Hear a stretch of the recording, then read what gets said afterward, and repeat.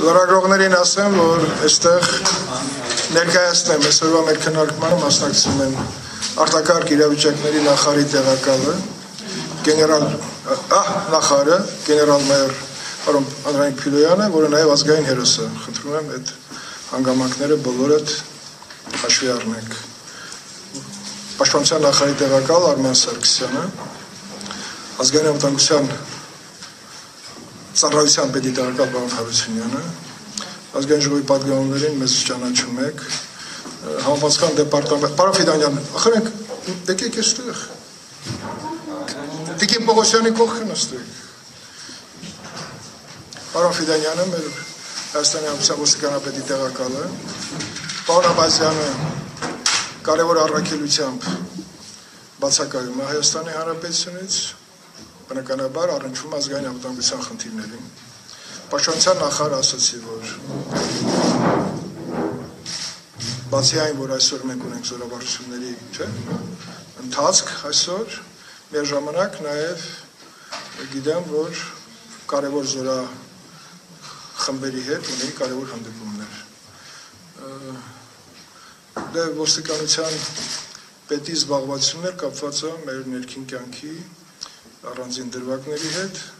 Պարոն Ֆիդանյանը լիարժեք կներկայացնի ամբողջ ծավալով այս պայդրությամբ բյուջեի հետ կապված խնդիրները։ Հերթականությունը կորոշենք հիմա։ Ես կարծում եմ սկսենք ազգային անվտանգության ծառայությունից, հաջորդը պաշտպանության փոխնախարարին կլսենք, հետո պարոն Փիլոյանին, վերջում ոստիկանության մասը կավարտենք, կլինի ներկայացում, կներկայացվի ընդ ինչ վիճակ կատարողականը, այս պայդրությամբ կլինեն падգաումների հարցեր, եթե կլինեն գախտնի մասեր, առնչություն կունենան, որտեղ հարցու պատասխանի ժամանակ կառնչվեն այդպիսի թեմաների, ես կար ժամանակով այդ հարցերի ընթացքում կփակեմ փակ ռեժիմի կանցնենք, որից հետո երբ բացվի նորից լրագրողները կմասնակցեն։ Ուրեմն այդ հերթականությամբ էլ սկսենք խնդրեմ պարոն Հարություն։ Պարոն Փոխանցյան, Հայաստանի Հանրապետության կառավարության ծրագրի 2020 թվականի կատարման ընթացքի վարչությունների մասին զեկույցի ցանկանում անունացնել եւ դες ներկայացնել տնտեսական անվտանգության եւ կոռուպցիա տնտեսական անվտանգության եւ կոռուպցիայի հակազբանողությամբ ԱԱԾ Ես խնդրում եմ աշխատանքները աշխատանքի ընթացքում հատկապես մեր շատ սիրելի լրագրողներից քար լրություն, որտեղ շատ հետաքրիր է նաև ձեր համար միշտ չի որ ուժային կառույցները իրենց ներկայացրած ծրագրերը ձեզ այդքան հասանելի է լինում։ ԱՑ կողմից կատարված աշխատանքներից կառուցվածքի տնտեսական անվտանգության եւ կոռուպցիայի հակազդան դեմ կատարված աշխատանքները։ Մասնավորապես այս պահեդրությամբ մենք 2020 թվականի ընթացքում հարուցվել է ԱԱՑ քնչական դեպարտամենտում 558 քրեական գործ, որից 212-ը եղել են կոռուպցիոն եւ տնտեսական գործունեության դեմ ուղղված հանցագործություններով հարուցված քրեական գործեր։ Որոնցից 58-ը հարուցվել են քրեական օրենսգրքի 311 հոդվածով, Կաշախստանալը 36-ը քրեական օրենսգրքի 308 հոդվածով, պաշտոնական լիազորությունները չարաշահելը 38-ը քրեական օրենսգրքի 190 հոդվածով։ Իսկ մնացած այլ հոդվածներով։ Հարկ եմ համարում նշել, որ Հաշվետու ժամանակահատվածում կոռուպցիվ տնտեսական գործունեության դեմ ուղղված հանցագործություններով հարուցված 212 քրեական գործերից մեղադրական եզրակացություններով դատարան ավարտվել 16 քրեական գործ 69 անձանց նկատմամբ, որոնցից 20-ը հանդիսացել են պաշտոնատար անձինք։ Կարճվել է 5 քրեական գործ, 9 այլ մարմինների ուղարկվել 118 քրեական գործեր։ Ընդհանրապես ես այս մասը կցանկանայի առանձնացնել, եթե կան հարցեր, կոնկրետ հարցեր, պատրաստեմ պատրաստեմ պատասխանել ձեր հարցերին։ Ես ներկայացնեմ, թե ազգային ժողովի падգաուններից ովքեր են մասնակցում նիստին։ Ձեր կողքը նստած է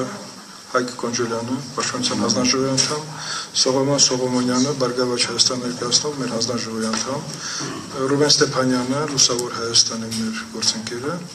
Արեն Մկրչյանը իմ քայլը խմբակցության падգամավոր, Քրիստինե Պողոսյանը իմ քայլը խմբակցությունից ինձ գիտեք եւ այսօրվա մեր աշխատանքին շուտով կմիանա նաեւ Արմեն Խաչատրյանը։ Խնդրում եմ հերթագրվեք պարոն Հարությունյանին, եթե հարցեր ունեք։ Այս մասով ներկայացվեց բնականաբար մնացած բոլոր հարցերը, որոնք առնչվում են արտաքին հետախուզությանը եւ այլն, կարող եք հարցեր տալ, այդ դեպքում բաց հարցերի անայենք, եթե փակ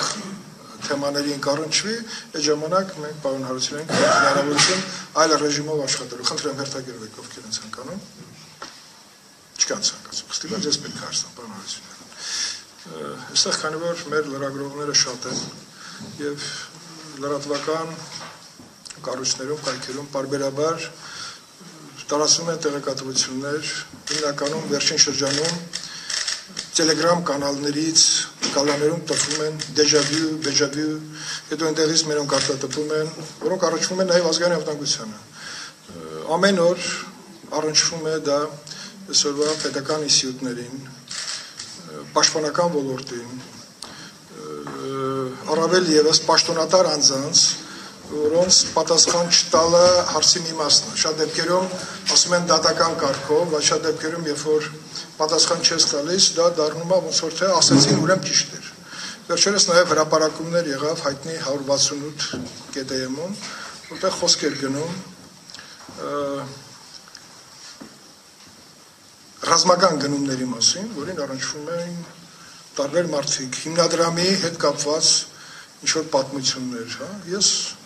երեք էլ ազգային անդամության ծառայության տնօրենին խնդրել եմ, որպեսի անմիջապես քրեական գործեր հարուցվեն, եթե ճիշտ է, ուրեմն պետքա անկախ նրանց իշխանության մեջ ես, մեջ ես, որտեղ նաև ինձ առնչվող բաներ են եղել, պաշտպանության նախարարին, բոլոր պաշտոնատար անձանց, վերջերս տպել են մի ցանկ, անդադ ինչքան գրում եք fake, որ իմ քալը դաշինքի պատգամավորները աստղաբաշխական տներ են առել Այսինքն գնում է վարկաբեկման մի հատ տոտալ գործընթաց, որը բավականին լավ վճարվում է, որտեղ երբ որ ես նայում եմ նույն մեր այն կայքերը, որոնք դա տարածում են, դա այնց հատուկ արվում է եւ դա բնականաբար պետքա որ լավ արծաթել, այսինքն սուտ լավ արծաթել։ Այսօր ամբողջ աշխարհն է այդ խնդրի առաջ, մենք ապրում ենք իրականության եւ ֆեյքի մեջ։ Հիմա դա ասեն վերածվել ազգային ավտոմատության խնդրի։ Մենք ունենք ծրագիր, ազգային անվտանգության կառույցները ունեն նախատեսված կառույցներ նման երևույթներին պայքար մղելու, որովհետև մենք արդեն հասել ենք այս սահմանը։